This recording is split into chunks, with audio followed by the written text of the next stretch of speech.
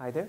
So, uh, so in the previous videos, uh, we introduced the complex exponential, um, and, and basically it was uh, introduced as a generalization of the real exponential, uh, whereby we wanted to retain some of the properties of the real exponential and therefore define the complex exponential.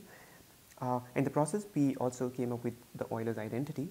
Um, and so let's just uh, try and use the Euler's identity to represent a couple of numbers on the complex plane to see how it works and also discuss a couple more ideas. Um, so, uh, so recall the Euler's identity is e to the power i theta is cosine theta plus i sine theta. So let's say we are on the complex plane where uh, this is the real axis. Let's label points along this as x and this is the imaginary axis and let's label points along this as y. Um, so let's say we want to represent the point 1 comma 0 using the polar representation. Um, now recall the polar representation of a complex number z is of the form r e to the power i theta, where r is the magnitude of z and theta is its argument or the angle that it makes with, with respect to the x-axis. Uh, so in this case, the magnitude of the complex number will be 1, uh, whereas the angle that it makes with the x-axis is just 0. So the number or the complex number 1 can simply be represented as something with magnitude 1 times e to the power of i 0. Right? Um, let's also try how do we represent the point i, uh, which is one unit along the imaginary axis. Now, i, again, it has magnitude r equals 1 because it's one unit along the imaginary axis, so r is 1. But the angle that it makes in the counterclockwise direction with respect to the x-axis is pi over 2. And so this is e to the power i pi over 2. Um, now, this is consistent with Euler's identity, and the way we can check that is um, e to the power of i pi over 2, if you work that out, e to the power i pi over 2 is cosine pi over 2 plus i sine pi over 2. And cosine pi over 2 is 0, and sine pi over 2 is 1, so this is just i. And this is what we've written here, that i is 1 unit e to the power i pi over 2. Um, so let's try another example. Let's say the point 1 plus i. So again, we need to find out its magnitude, the magnitude of this vector and the argument theta. Um, now the magnitude of z, which is 1 plus i, so let's write it down here. So z, which is 1 plus i. Magnitude of z will be square root of 1 square, which is uh, the real part, plus the, the, the, unit, the, the magnitude of the imaginary part is also 1, 1 square, so that is square root 2 the angle tangent of theta is 1 divided by 1 and therefore theta is pi over 4 and therefore the point uh, 1 comma i can be represented as square root 2 e to the power i pi over 4 uh, in its polar form. Um, okay.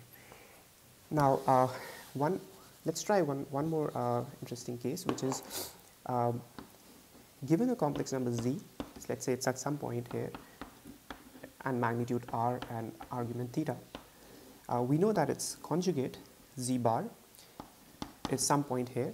Now again we always uh, by convention we always take the counterclockwise direction for the angle to be positive. So z bar uh, the magnitude of z bar is the same as magnitude of z. So this vector is also of length r but the angle that it makes is actually theta in the clockwise direction and so this angle is actually minus theta in, in terms of our convention. So z bar can be represented, given any complex number z, z bar can be represented as r e to the power of minus i theta. Uh, given that, so convention is, convention is to take uh, theta as positive in counterclockwise direction. Okay. Um, now these two uh, can be combined together uh, and uh, are often combined together to, uh, to sort of uh, write an expression in terms of cosine theta and sine theta. Uh, and the way that works is as follows. So um, maybe we can get rid of this. So given that z is r e to the power i theta, uh, we can now use the Euler's identity to write this as r cosine theta plus i sine theta. Likewise, z bar can be written as r e to the power minus i theta. And if we use Euler's identity with theta being minus of theta, then this can be written as cosine of minus theta is cosine theta, whereas sine of minus theta is minus of sine theta. So this is minus i sine theta. So if we add these two, uh, z plus z bar, if we add these two, we find that it's actually r cosine theta plus r cosine theta, whereas the imaginary parts cancels out. So it's 2r cosine theta. Or in other words, we can say that cosine theta is z plus z bar divided by 2r. Um, if we subtract these two expressions, z minus z bar, uh, then, then the real parts cancel out and we find that this, this is actually 2 times i r sine of theta. Or in other words, sine of theta is z minus z bar divided by 2i r. Um, now, if we specifically focus on the case when r is 1, another way to write this expression is that cosine theta. So, in the case that r is 1, um, then z is just e to the power i theta and z bar is e to the power minus i theta. So, cosine theta can be written as e to the power i theta plus e to the power minus i theta divided by 2 and sine of theta is uh, e to the power i theta minus e to the power minus i theta divided by 2i because we have chosen r to be 1, 2i. This, this is when r is 1. And these are very useful uh, relations to remember for cosine theta and sine theta in terms of the complex, uh, in terms of the uh, exponential, uh, the complex exponentially by thetas.